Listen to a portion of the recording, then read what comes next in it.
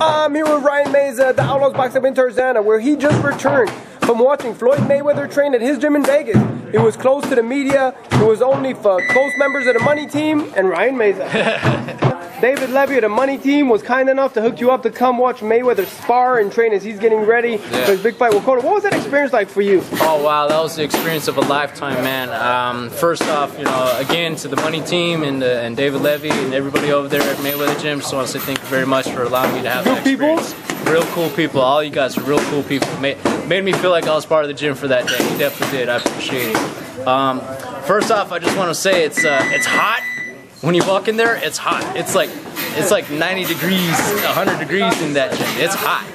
And um, I came walking in. Uh, I, I, I, I found one of the dudes uh, that, that helps run the place. You uh, trained there too. I, yeah, I got a, I got a workout in. I what did, was it like to train there? Oh, it was cool. It was really cool, man. You know, you walk in it, it definitely felt like a boxing gym. You know, a lot of guys, regular dudes like myself, were there doing their thing on the heavy bag. Uh, Roger was working mitts with you know some of the fighters there. You had Cornelius Boza Edwards working with uh, a couple of the guys there too, doing their thing. You know, like I, I did my heavy bag or speed bag or shadow boxing jump rope, and I broke up a good, good, good sweat.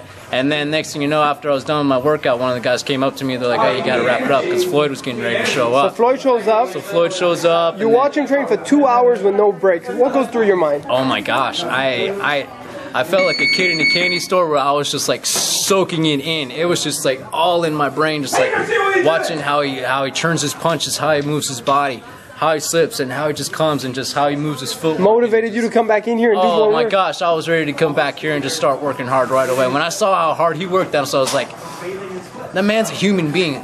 Maybe I can work that hard too. You know, that's Very what I said. It was very motivational. It was, and you know what, man? I just I, the other thing too. I felt like I was around the who's who of boxing at that gym. You had Hasim Rahman. You had BJ Flores doing his workout there. You had Yuriorkis Gamboa going in. He was working out the same time. How did he look? How did. Gamboa look? Oh, dude, he looked he looked amazing, man. That strong, strong, strong dude, man. I just like and he's quick. He's quick, real quick. Um, he was there.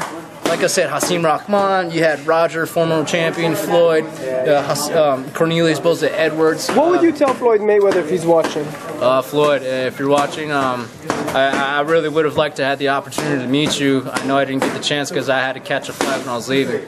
But um, hey, uh, good luck. I know you're going to beat Cotto. I know you're going to look good doing it too. And uh, if I ever get the chance to come back out there, hopefully if you're around, and uh, I really would appreciate the chance to meet you, man, because uh, you you definitely gave me you gave me the experience of a lifetime that I'm going to cherish for the rest of my life. And as a fan, I, I really really appreciate it. I really do. Was that watching an artist uh, drawing? That was like, that was like watching uh, Picasso do his painting, or or or, or like for the but, old but guy. more or- fun, more entertaining because Yeah, Floyd's hilarious. Any good jokes while you were there? Uh, you know what? He was actually in in serious training mode. He wasn't like he wasn't talking any shit. He wasn't doing any, you know, Just uh, just focus, just focus doing his thing. Only kind of talking he was really saying was like, he's like, so I'm taller than the guy. I got the reach on the guy. Fuck it, I should kick his ass. and then later on, he says something. He's like, Uh, I signed up for this shit. I'm gonna fucking finish it.